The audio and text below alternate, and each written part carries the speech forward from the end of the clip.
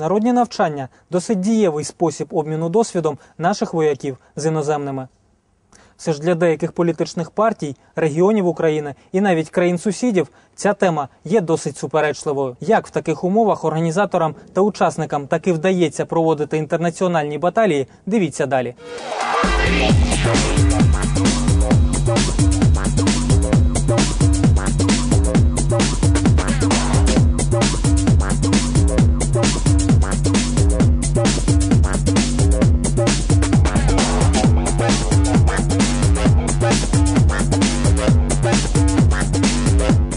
Доведено, що жодна, навіть найпотужніша держава світу, не здатна захистити себе самотужки. Та зі здобуттям Україною незалежності розуміння того, що консервація власної армії не має нічого спільного з її розвитком, прийшло не відразу. Наші військові почали залучатись до міжнародних навчань лише з 95-го. За два роки по тому для участі у новостворених навчаннях Сібриз та Козацький степ в Україну вже допускають американських, британських та польських військових. Цього року указ президента України від 22 квітня дав добро на проведення 12 міжнародних навчань на нашій території.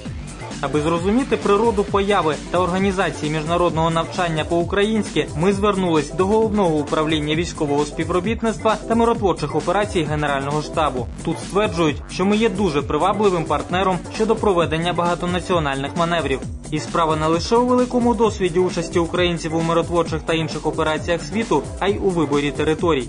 В європейських країнах е, загальний відсоток земель, які відводяться для потреб е, військових або оборонних відомств для проведення навчань, не перевищує 1,6%. В Україні цей відсоток значно більший. Він десь близько 6%. Зазвичай зародження нового багатонаціонального навчання відбувається під час міжнародних переговорів та зустрічей делегацій. Якщо пропозиції сторін є взаємовигідними, починається процес підготовки, який триває приблизно рік. Упродовж цього періоду на зустрічах та конференціях учасники обговорюють усі організаційні питання. Саме деякі з них, зокрема фінансові проблеми іноземних держав, навіть після внесення навчання у план і затвердження главою держави та Верховною Радою, можуть стати причиною його скасування. Якщо у 2009 році було заплановано участь українців у 23 міжнародних навчаннях, проведено 15, то в 2010-му картина майже не змінилась. У плані цього року 21 навчання, та військові впевнені, що вони відбудуться. Все ж наступного року, на час Євро 2012 блок традиційних інтернаціональних баталій доведеться змістити, адже збройні сили також забезпечуватимуть футбольний чемпіонат. Ближчими ж роками на території України не планується поява нових міжнародних навчань. Нині організаторів більше хвилює не кількість, а якість цих заходів.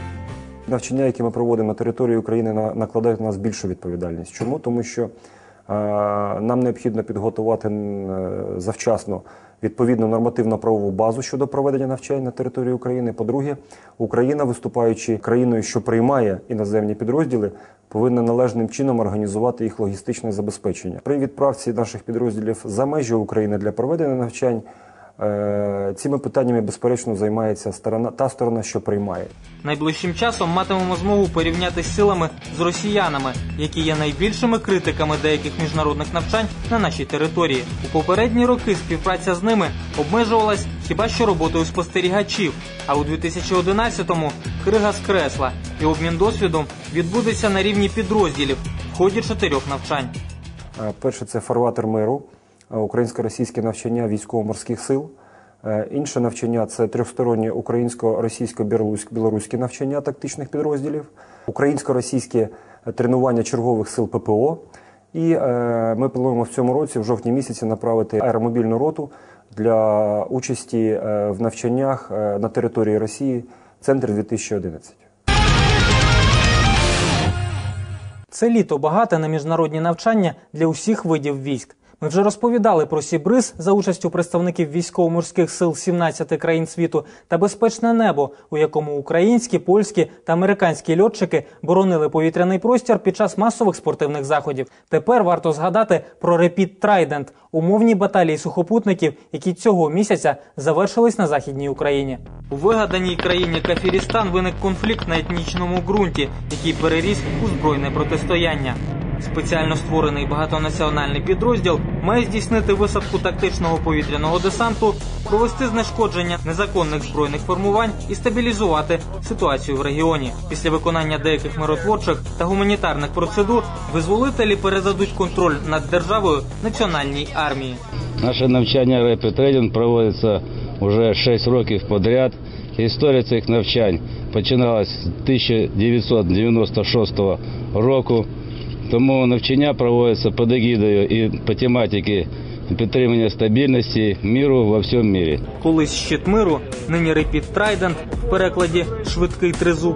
Ці українсько-американські навчання стали найбільшим заходом міжнародного співробітництва у 2011 році. Якщо в цифрах, то впродовж двох тижнів представники 13 країн разом виконували низку завдань. Було задіяно 150 військових автомобілів та бойових машин, 700 одиниць стрілецької зброї та майже 1400 військовослужбовців. Як бачимо, українці склали половину всього контингенту. Серед іноземних країн найчисельнішою виявилась делегація США 362 особи. Основу е, наших е, підрозділів, які приймають участь в міжнародних навчаннях, складає е, 13-й батальйон. Це той батальйон, який приймав участь в міжнародних е, операціях, контингентах. Тобто, це ті професіонали, якими сьогодні пишаються збройні сили. Відколи Repeat Trident прописався у міжнародному центрі миротворчості та безпеки, тут було підготовлено 11 тисяч військовослужбовців за найсучаснішими програмами. Україна та США працюють вже більше 15 років в цьому напрямку. Цей полігон є одним з найкращих місць, де можна тренувати солдатів. Тут ми можемо зібрати представників багатьох країн і провести масштабні навчання. Відмінною рисою цьогорічного навчання стало проведення повітряно-десантної операції за допомогою американських літаків Сі-130 Геркулес, українського військово-транспортного літака Іл-76 та гелікоптера Мі-8. Стрибки здійснювались з висоти 600-800 метрів. До речі, щоб вивчити українське парашутне спорядження та техніку виконання стрибків, іноземні військові прибули на тиждень раніше. Колін Лейн на Львівщині вже втретє. Навесні та взимку приїздив сюди на плануючі конференції до цього навчання. Ми познайомилися з кількома курсантами з академії сухопутних військ у Львові. Також ми мали змогу спілкуватися з генералами, офіцерами та солдатами української армії.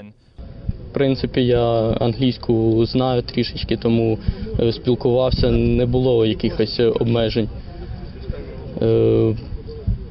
Е, зрозум... І мене з- розуміли, і я зрозумів, що, що від мене хотіли. Основною причиною прибуття в західну Україну представників деяких країн стала можливість роботи з американською системою Miles. Лазерний девайс дозволяє вести вогонь інфрачервоними кулями зі стрілецької зброї та бойових машин, чим робить двосторонні навчання максимально реалістичними. визначено вчені співпраці.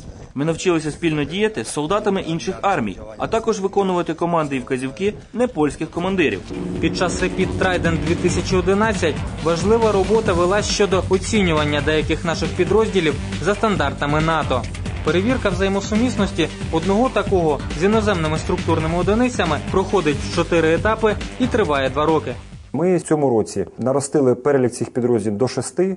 Значить, у нас підготовлена рота е, радіаційного хімічного бортологічного захисту, інженерно-саперна рота, е, два літаки Ан-26, е, Віта, літак аеромедичної евакуації і транспортний літак Іл-76. Крім того, корвет Тернопіль і рота морської піхоти.